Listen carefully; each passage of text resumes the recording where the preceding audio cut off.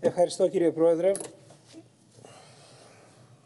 Κυρίες και κύριοι βουλευτές, είναι προφανές ότι η κυβέρνηση τελειώνει το οκτάωρο και καταργεί τις συλλογικές διαπραγματεύσεις.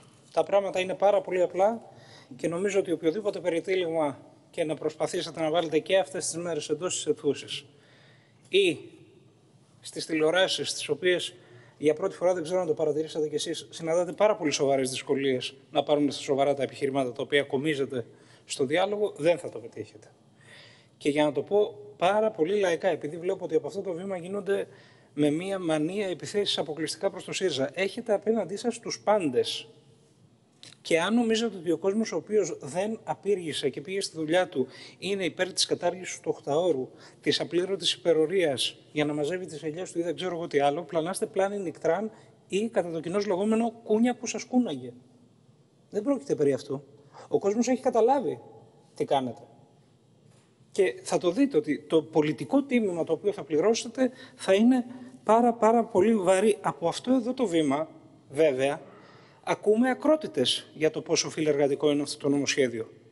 Δηλαδή, αν σας πιστέψουμε, πρέπει να φοβόμαστε μήπως πεταχτεί από πουθενά ο αληθινός σας εαυτός και καταγγείλει τον ψεύτη εαυτό σας για σοβιετικού τύπου ρυθμίσεις. Τέτοιο φιλεργατισμό μας έχετε διαφημίσει εδώ πέρα. Είναι πραγματικά σοκαριστικό το πώς επιχειρείτε να παρουσιάσετε αυτό το νομοσχέδιο. Μιλάτε για την προσδοκία αύξησης της απασχόλησης και της μείωσης της ανεργίας μέσα από αυτού του τύπου τη ρύθμιση. Δεν κάνατε κάτι ανάλογο το 2012. Κύριε καθηγητά, κύριε Τσακλόγλου, με συγχωρείτε. Το 2012 υπήρξε η γνωστή πράξη Υπουργικού Συμβουλίου που καταργούσε τις συλλογικές διαπραγματεύσεις και τα πίνουν τον κατώτατο μισθό. Ποιο ήταν τότε το επιχείρημα; Ότι θα αυξηθεί η ανταγωνιστικότητα και θα αυξηθούν οι θέσεις εργασίας. Ποιο ήταν το αποτέλεσμα; Ποιο ήταν το αποτέλεσμα; 27% ανεργία. Και επειδή, ε, επιτρέψτε μου να σας απευθυνθώ και έτσι λίγο πιο προσωπικά, επειδή είστε και καθηγητής, εδώ υπάρχουν κάποια δεδομένα πολύ πρόσφατα, τα οποία δεν μπορεί να αγνοούνται στο σχεδιασμό πολιτικής. Και τα δεδομένα είναι ότι με την πολιτική 10-14 χάθηκαν ένα εκατομμύριο θέσεις εργασίας με την πολιτική 15-19 κερδίθηκαν 400-450 χιλιάδες θέσεις εργασίας. Το λαμβάνετε αυτό υπόψη; Έχετε βγάλει κανένα συμπέρασμα; Και επειδή στην έκθεση Ψαρίδη έχετε βάλει και την υπογραφή σας, επιτρέψτε μου να πω ότι ε, εδώ πέρα ε, μάλλον ε, παραβιάζουμε ανοιχτές θύρες. Λέτε πεντακάθαρα σε αυτή την έκθεση, η οποία αποτελεί τον πυρήνα της οικονομικής πολιτικής την οποία θέλετε να ασκήσετε, ότι πρέπει να γίνει η διαχείριση, λέει, του αριθμού των υπεροριών και να διευκολύνουμε τις επιχειρήσεις να αλλάζουν τον αριθμό των εργαζομένων. Μάλιστα, να τις διευκολύνουμε.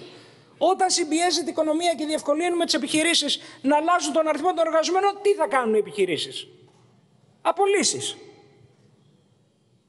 Ο ορισμός της προκυκλικής πολιτικής, ο ορισμός, Παρακαλώ. ο ορισμός νομίζω του ε, αυτό που λέγεται trickle down economics.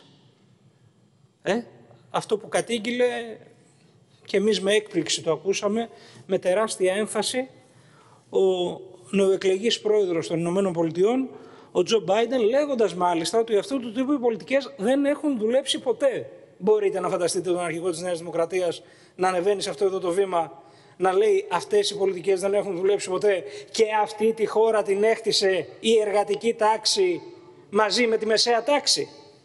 Μπορείτε να το φανταστείτε αυτό, τα συνδικάτα με τη μεσαία τάξη. Μπορείτε να φανταστείτε το Μητσοδάκη να εμβαίνει σε αυτό το βήμα και να λέει κάτι αντίστοιχο με αυτό που είπε ο Biden; Δεν μπορείτε προφανώς. Διότι το δυστύχημα για την Ελλάδα είναι ότι ακριβώς σε ένα περιβάλλον που υπάρχουν περιθώρια άσκησης επεκτατικής προοδευτικής πολιτικής και πολιτικής που βάζει ως πρώτη προτεραιότητα την κοινωνική προστασία, έχουμε μια αντιδραστική κυβέρνηση. Μια κυβέρνηση που δεν έχει βγάλει κανένα συμπέρασμα από το πρόσφατο παρελθόν και είναι έτοιμη να επαναλάβει τα λάθη του παρελθόντος.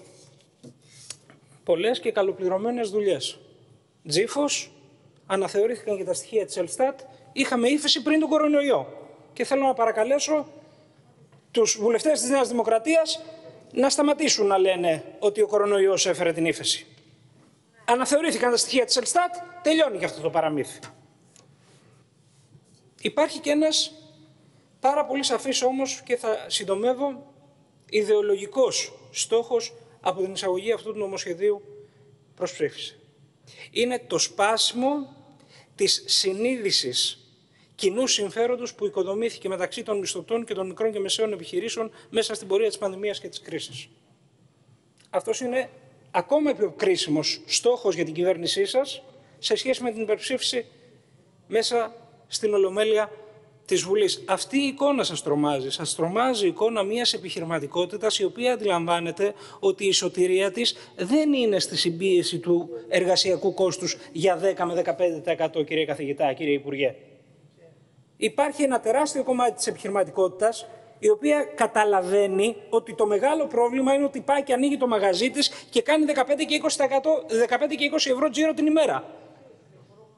Και η σωτηρία δεν είναι να μειώσει το μισθό του ενός ή των δύο ανθρώπων ή των τριών ανθρώπων που απασχολεί για 10 ή 15% με έμεσο ή άμεσο τρόπο. Εσείς βέβαια και εσείς προσωπικά και όσοι υπογράφουν την έκθεση Ψαρίδη, αυτές τις επιχειρήσεις τις εντοπίζετε ως το θεμελιακό πρόβλημα της ελληνικής οικονομίας.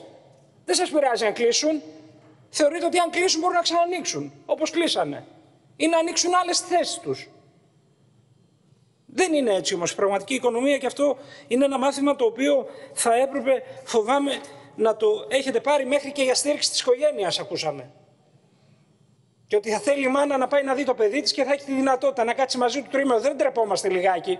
Πού μπήκατε στην ουρά για να παραστήσετε; Και εγώ δεν ξέρω τι σε αυτό το κατάπτυστο συνέδριο το οποίο επιχείρησε να εμπορευματοποιήσει και την επιλογή για την τεκνοποίηση, προσβλητικό για τις γυναίκες και βέβαια με μέγα χορηγό την τράπεζα η οποία θα δίνει και το δάνειο για να γίνεται η εξωσωματική γονιμοποίηση. Τελειώνω με το εξής. Κύριε Πρόεδρε, δεν θα καταχραστώ την καλοσύνη σας. Επισκέφτηκα πριν λίγες μέρες μαζί με τους βουλευτές της Λάρισας τις σεισμόπληκτες περιοχές. Είμαστε, είναι εκτός θέματος, αλλά θα ήταν απρέπεια εκ μέρους μου να μην το αναφέρω από το βήμα της Βουλής οι πέτρες του σεισμού της 3ης Μαρτίου είναι ακριβώς στην ίδια θέση και είναι ντροπή. Είναι ντροπή. Προσέξτε, η ευθύνη των μελών της κυβερνήσεως κατά το Σύνταγμα, κύριε Τσακλόγλου, είναι συλλογική. Μπορεί να μην έχετε αρμοδιότητα, αλλά αν χτυπήσει ένας άνθρωπος, σας λέω είναι η πέτρα στο ίδιο σημείο. Είναι τα ερήπια έτοιμα να καταρρεύσουν και δεν έχει γίνει Μα εκεί θα ήμασταν και μαζί σας. Μια ανάθεση, ακούστε με λίγο, μια ανάθεση σε έναν εργολάβο να πάει να μαζέψει τις πέτρες και τα χαλάσματα. Ούτε αυτό δεν έχετε κάνει. Και ήξερε το Υπουργείο Υποδομών να παραγγείλει γάντια για τον Οργανισμό Συγκοινωνιών της Αθήνας με 250.000 από ένα επιπλάδικο στις αίρες. Και τα χαλάσματα εκεί που είναι οι σεισμόπληκτοι είναι ακριβώς στην ίδια θέση. Καταθέτω στα πρακτικά και ολοκληρώνω τις σχετικές φωτογραφίες. Παρακαλώ. παρακαλώ. Ευχαριστώ πάρα πολύ κύριε Πρόεδρε και για την ανοχή σας.